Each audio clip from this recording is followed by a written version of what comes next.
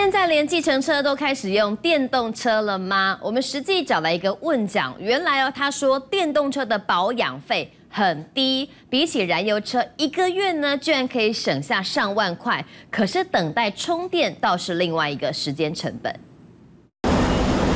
后座车门上先设计电动修理车外形酷炫，但竟然也用来当做计程车。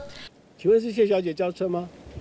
在多元计程车的发展之下，越来越多的电动车也加入了这个行列。不过呢，像我搭乘的这一款车子，由于车身是没有涂成黄色的，因此只能线上叫车。虽然内装与燃油车差异不大，但对小黄驾驶来说很有感。像是在能源费用上，电动车的电费只占营业额的十分之一，但充电需要一小时，而且充电站不像加油站来的密集，但不用像燃油车每一万公里就至少得花上五千元保养费。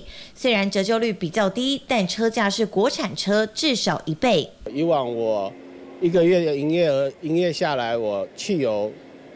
光是加油我就要加到快两万块钱，对。那换了电动车之后，我这换第二个月，我上个月充电大概充一个月充不到七千块。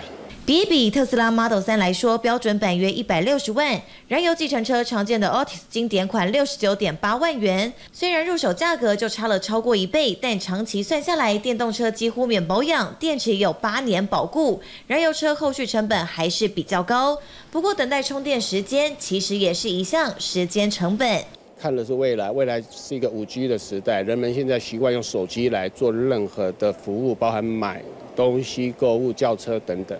我自己看出来，路招的时代可能快要过去了。计程车也跟上电动车趋势，毕竟生产工具成本要看得长远一些。东森财经新闻，谢伟扬州台北报道。